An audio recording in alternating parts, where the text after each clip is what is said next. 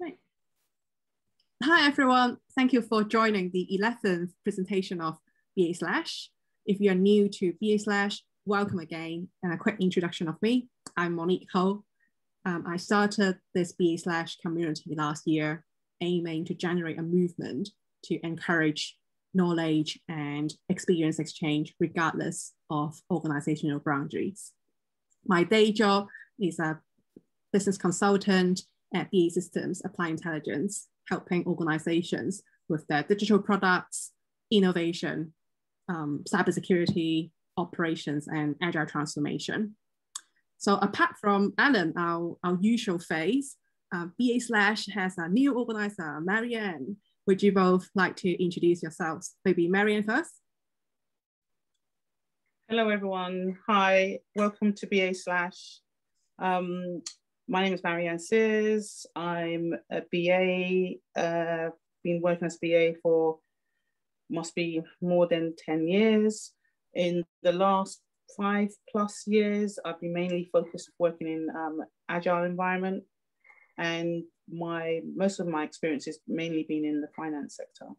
But I became a contractor in 2017 and I've worked in charity, non-profit, government, and back to finance. And currently I'm at uh, BP. That's great. Cool, thank you. And Alan. Hi everyone, Alan Wishart. Um, I've been a BA involved in software development for probably 20 years now. Um, I'm currently working for uh, an insurtech called FinTech OS, uh, where I'm the product owner for insurance. That's great. Thank you both. Yeah, and if you like BA Slash, please spread the word with your contacts, tweet us, follow us on LinkedIn, on YouTube. Every post, every tweet you made, make us go further. And just to say thank you to those who share this event with your network via email and social media. This really helps us reach more fellows to exchange ideas. And yeah, the next slide is the um, the event that we had two weeks ago. So it's a, it's a great celebration with lots of you uh, using SpatialChat for our first birthday. So some of you provided some thoughts on the direction of BA slash moving forwards. And we also had some very good conversations on anti-patterns of Agile. We didn't do any recordings for those discussions because we thought it would be good to to make people feel comfortable to share as much um, as they, they want in the, the event. Um, but we do have a summary of one of the discussions on, on Medium. So please check it out. Um, I'm trying to put the, the links in the uh, chat as well, so you can go have, have a look of the article.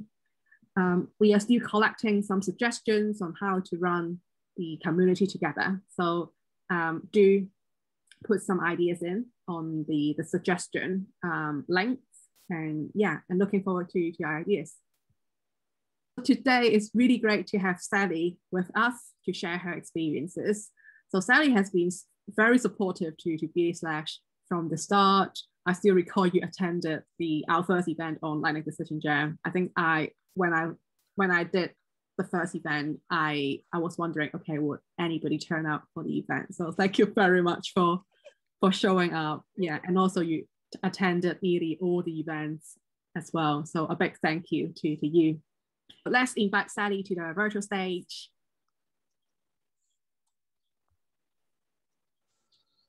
Thank you very much to, um, for coming to this session.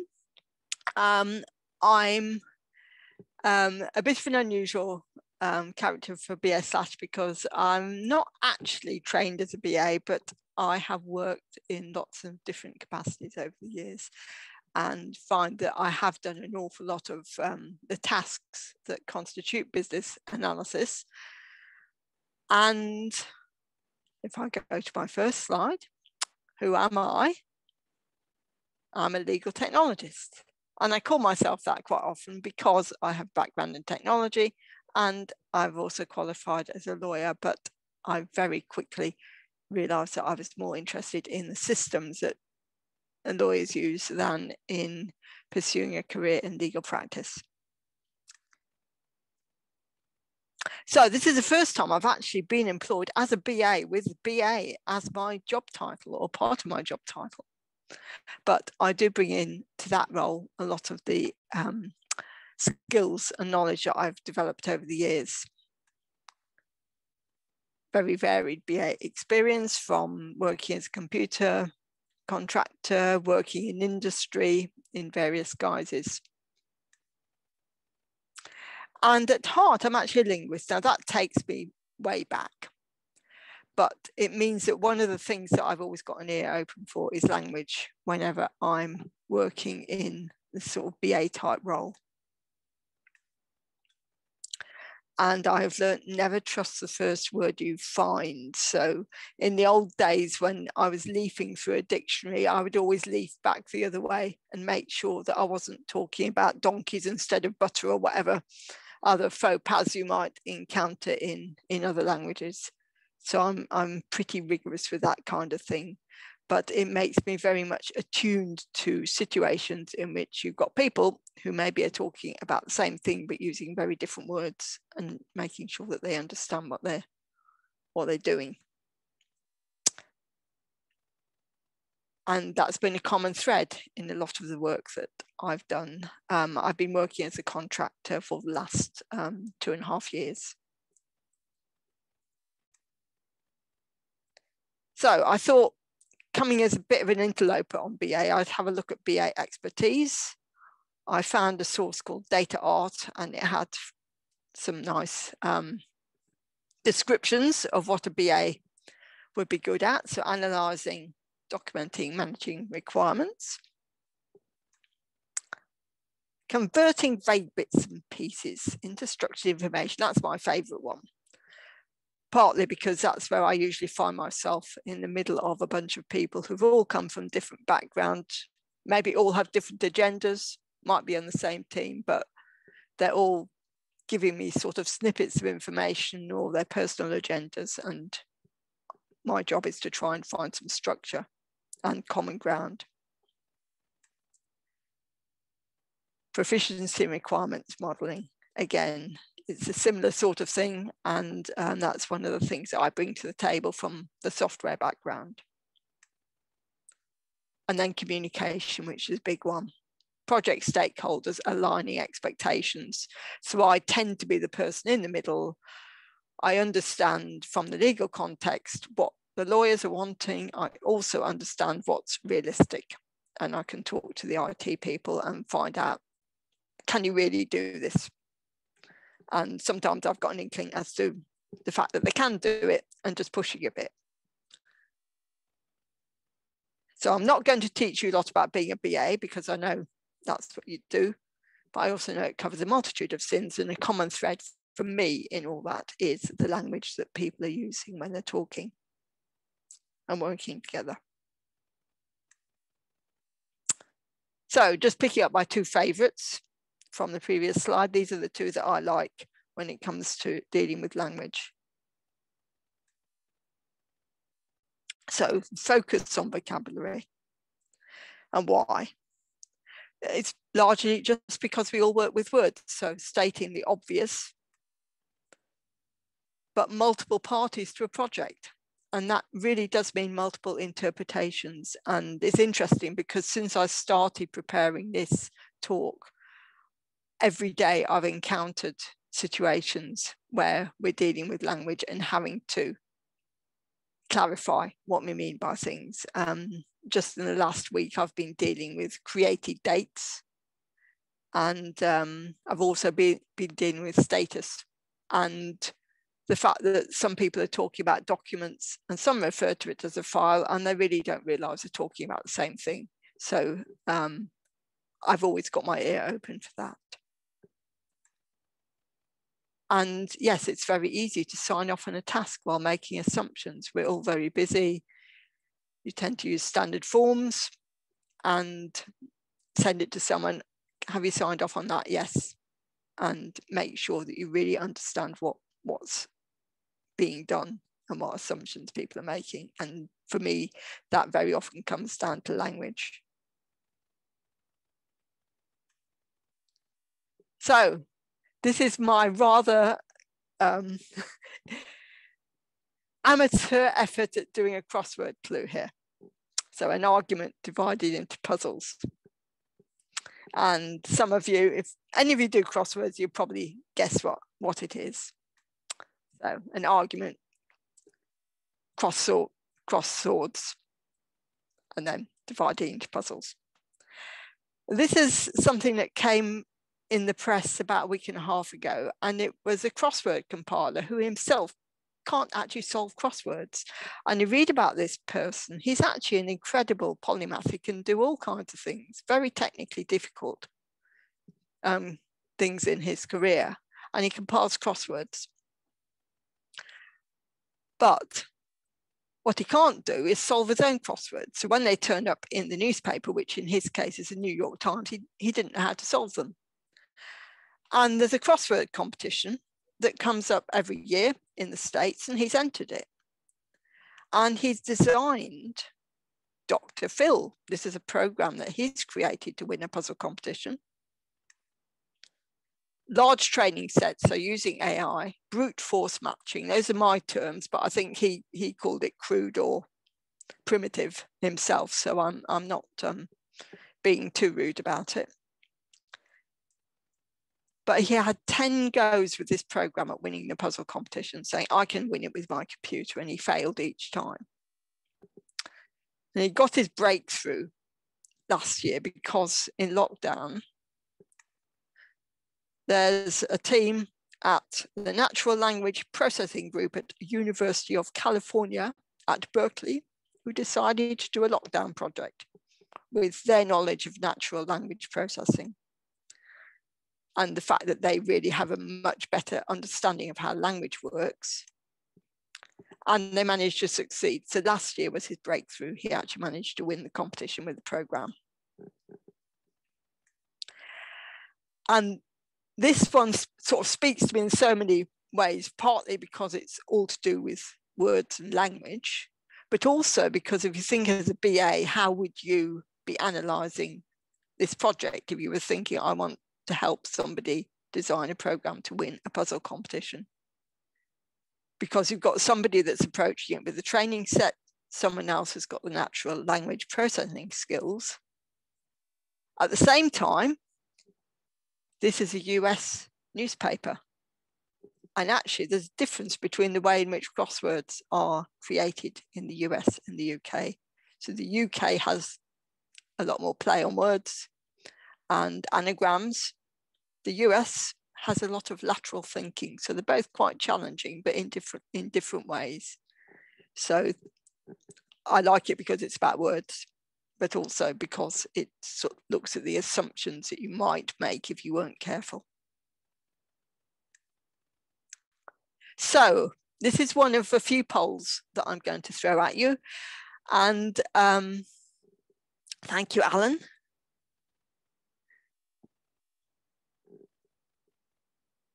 Um, yes, what is a workflow?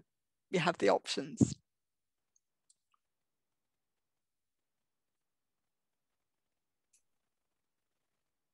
So we'll, we'll, we'll, give you a little while just to yeah. uh, complete this, so uh, Sally can see what you think.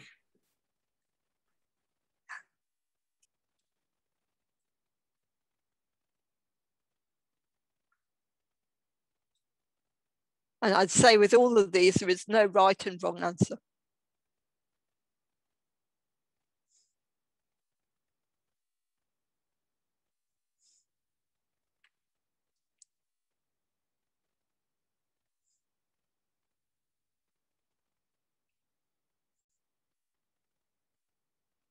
All right, do you want me to end the poll? I'll, I'll, I'll, end that for you and you'll end it for me. Thank, thank you very much. Okay, so top answer is the first one, a sequence of steps to achieve a task. The second one, a way to specify a process.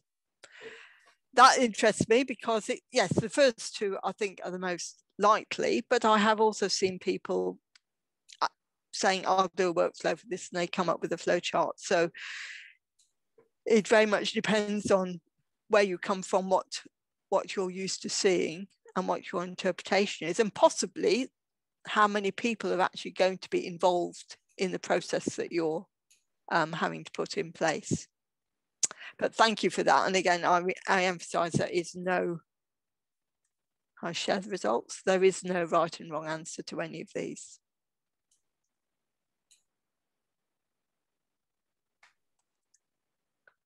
Okay. So next, the spoken word. Okay, so everyone's present. Really powerful. You all hear the same thing. What have you heard? Yes, this is a good one. We've all changed to agile working.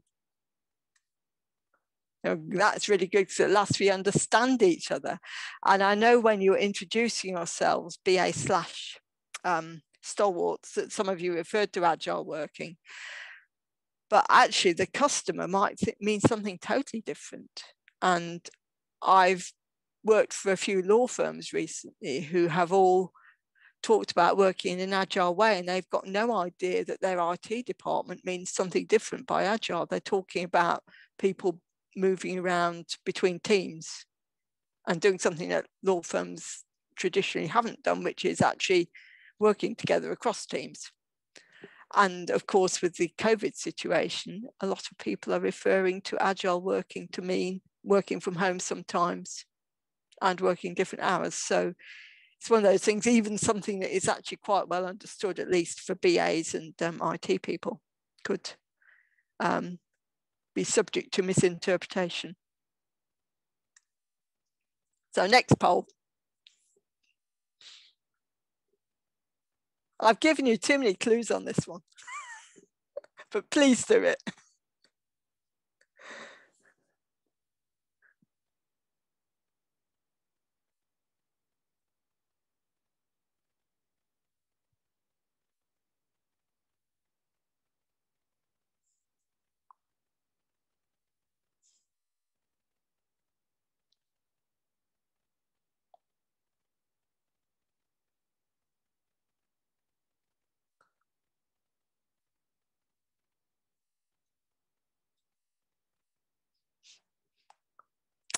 Okay, right, thank you. You can see the results. So most people have said project management methodology, but some people have come up with a flexible working. And that's, you know, that could be that that's exactly what your customers are thinking about. So make sure if they're talking about agile, you're not mixing it up.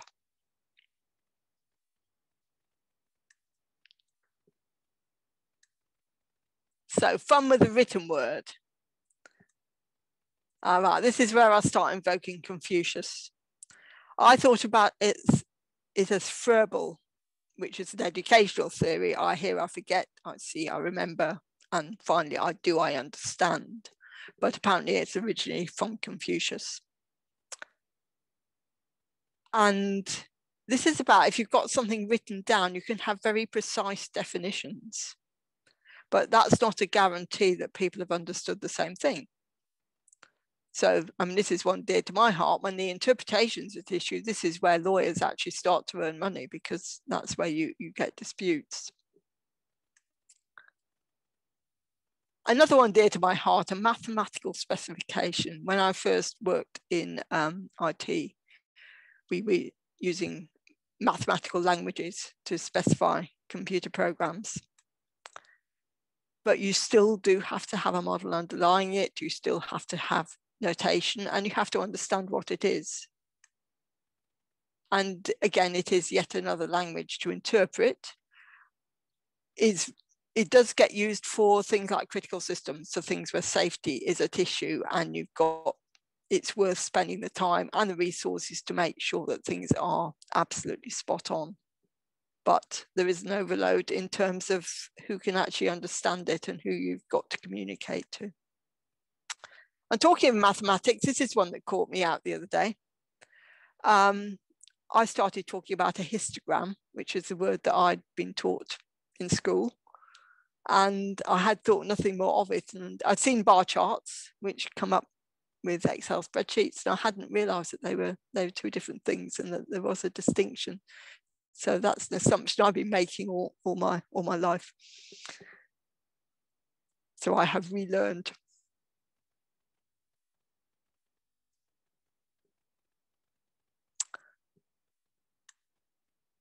So next poll, what's a document type? Again, no single right answer.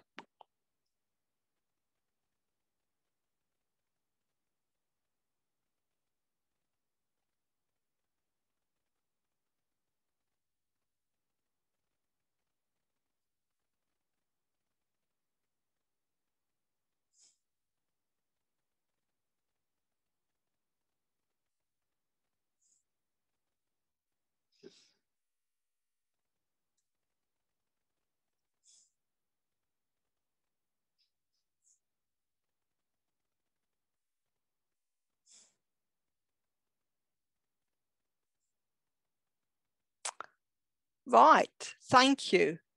I do like this one because this is one that I keep coming against and it's one of the ones that I have to be very vigilant about when, when I'm working between um, subject matter experts and IT teams. And partly because when you're talking about document types, file formats are very important to people that are using computers and it's um, you're, you're talking about how much space something is going to take up, how it's actually going to be structured. There's a lot that goes into that, and it's got its own metadata. But particularly my domain with lawyers, what's actually the content of a document? So that's how they're thinking about a document type. And this is not easy because it is a phrase that gets used in different ways by different people, and they do have to work together and it's it's one that I'm constantly on my guard for.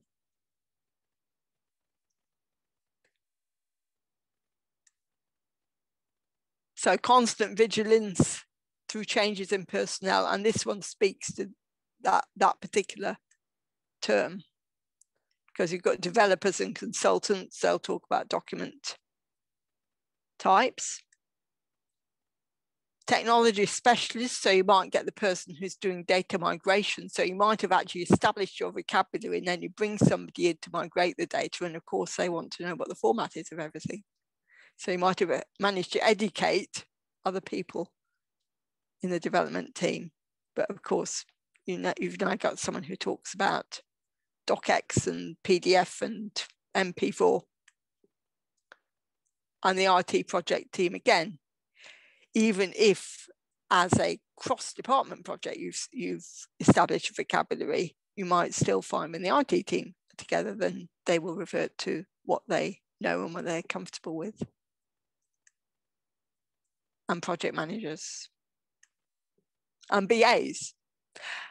And one of the reasons I put all those together is that with the best will in the world, ideally you would have one project team throughout the life of the project. But of course, project members change. And every time somebody joins, you've got to make sure that they will understand what the rest of the project are talking about.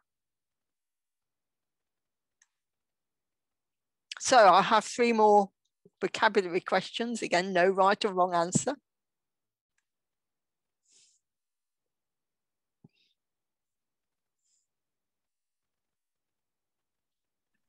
So the, the poll, this poll, that's about the creation date of a document. So the first option is the date of the first draft.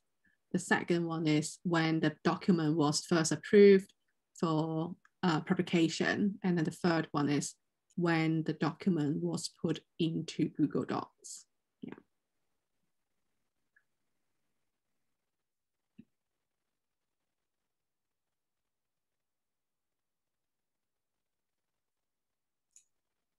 Okay, I'll uh, give you a couple of more seconds to complete that and then we'll share the results.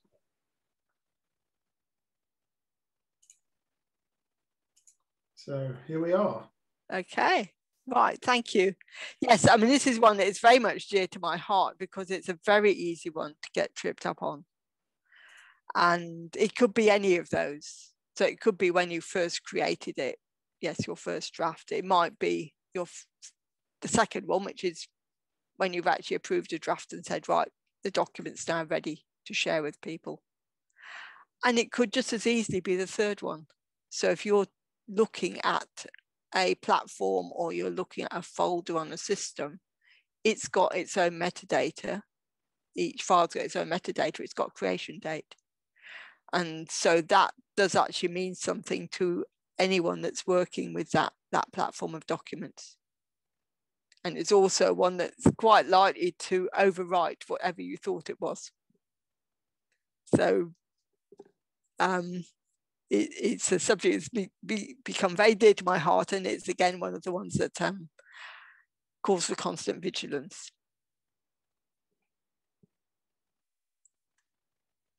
Right, next one.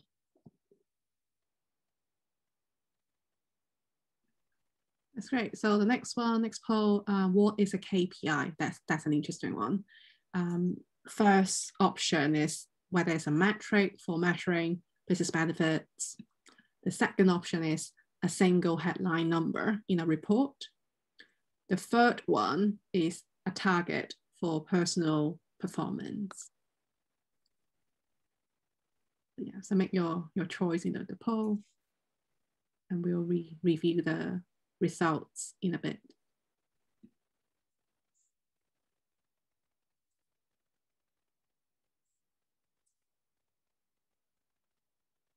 Okay, I'll uh, I'll share these results now. Thank you. And here we are. Right. Oh, I'm glad they're not all landing on the same one. I have encountered all of these.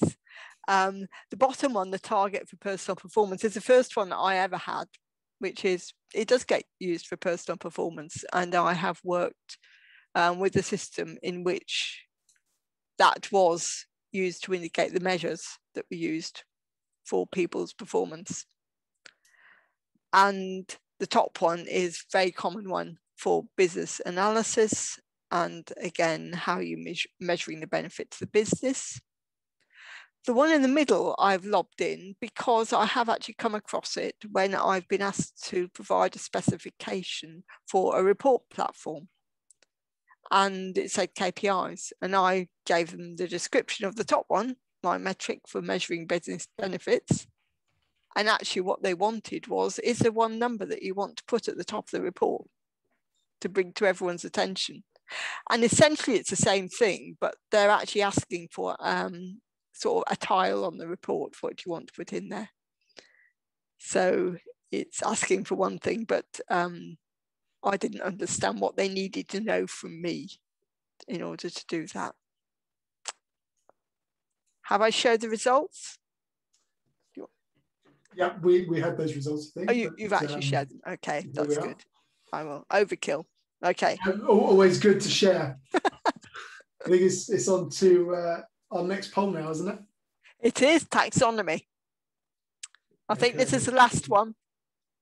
Cool. Taxonomy. So the first choice, um, that's the formal classification of plants or species. The second one is term set for a data system. And last but not least is the specialized vocabulary for a subject matter domain. So we got some votes coming in.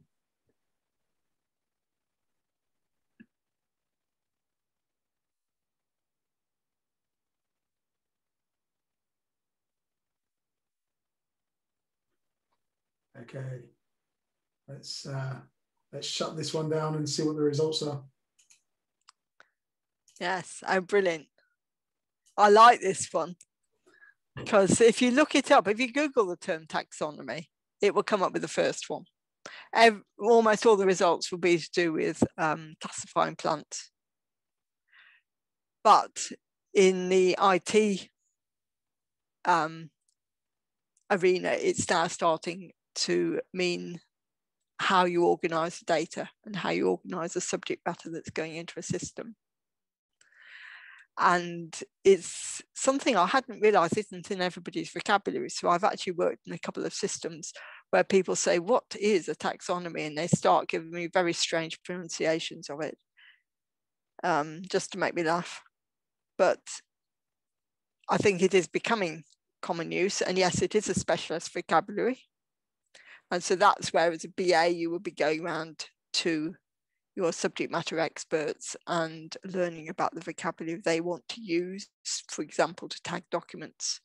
But then, of course, it's going to turn into something like a term set when it gets into the system. So your your job is converting their special vocabulary into something that is going to be used in the system.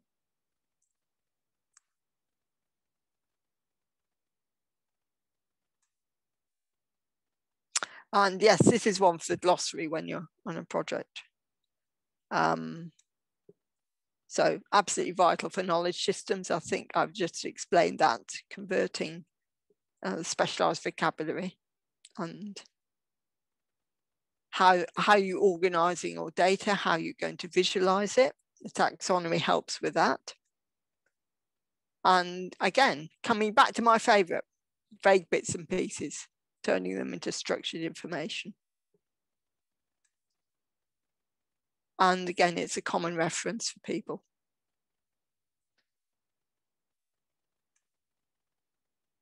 So going back to the BA skills, I've organized them into bars this time. So the first one, requirements. This is the first point at which maybe you're starting to understand the language that you're um, product managers and users are using. So keep the language dialogue going, have an ear open for the language that they're using. Converting your vague, vague bits and pieces, so understand what they are, what's the structure, and find some way to embed that for when the system's actually in place and you're in business as usual proficiency in requirements modeling. So you've got your requirements, who are the KPIs for, and how, how do you describe them? And then finally, communication. Look at the business language, you look at the technology, how are you going to form the bridge between those and make sure that you stand the best chance of expressing the requirements that your stakeholders have and getting those explained and implemented. So thank you all very much for your attention. And I would like to thank Alan, Marion and Monique who've helped me and let me do my dry run. And particularly Monique, because she's actually kept me on track over the last couple of weeks and helped me to target the BA community, as well as having my rather quirky sort of um, general knowledge. Very okay. Over to the discussion. Do you want me to stop sharing? Yeah, if we could stop sharing, that would be good. I will stop sharing. Yeah, go on. Thank you.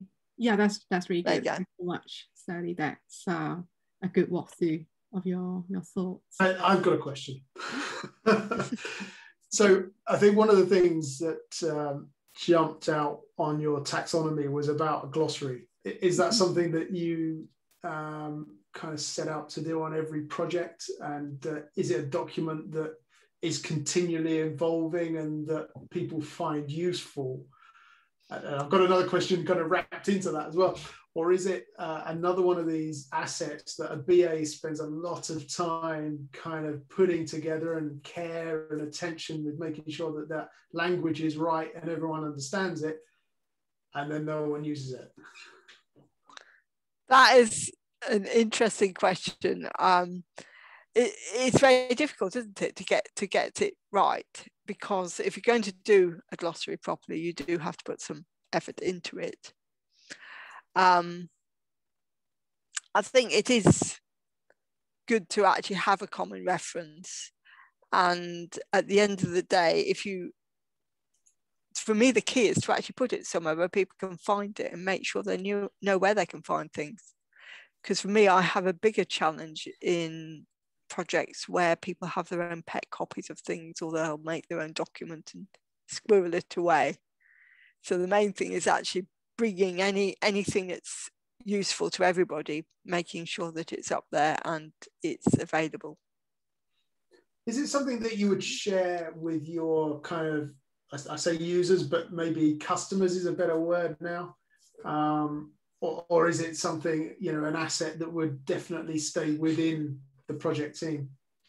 Um, probably depends what it's for. I mean, if it if it's one if it's um, a project team that's actually going to make sort of longer term use of it, or if it's just for the length of the project, then I suppose it would stay with them.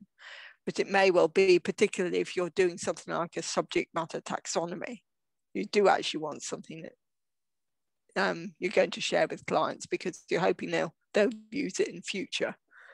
And um, Uh, in some cases, eh, well, I deal with knowledge systems, so in in in that case, they need to invest in it for the quality of their own system. So yes, it depends on the situation.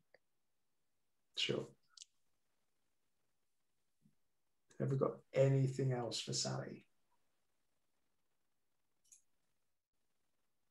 Okay, over to you, Monique. Yeah, sure. So we got our, our next event lined up already. So we will have um, Darren uh, from NatWest to share with us um, his view of having a common definition of agile. And I think that's really useful because the in our uh, birthday party, some of our uh, community members mentioned that it would be good to understand a bit more on how they can explain agile as a concept to senior management. And I think for, for some of some of our attendees, they mentioned that they're actually quite new in terms of using agile. So it would be good to understand um, agile more. So this would be a perfect event for, for those who would like to, um, I think for those who are new to agile or and also for those who who are experienced in agile and maybe after the event you can really check whether you you know agile or whether you would pose some challenges to to Darren in terms of his definition of agile. Yeah, so that would be a good one. And yeah, and just uh, please continue share our um, our web pages, LinkedIn, YouTube, Twitter with uh, your network. It's always good to to bring more expertise in these events so we can do more exchange of ideas. Yeah, and if you are interested in sharing your own experience, do contact us. Um, and also if you want to become one of the, the organizers of BA slash, um, speak to us as well. Would love to, to have you on board and we can bring more stories to the community. So yeah, so thank you very much. I think what we will do, we'll stop the recording and uh, we'll just have go into have different breakout rooms for further discussion. So yeah, but thank you so much for coming to this event and look forward to meeting you again in the, the next one in June. Thank you very much. I'll see you soon. Cheers. Thank you. Bye. Bye.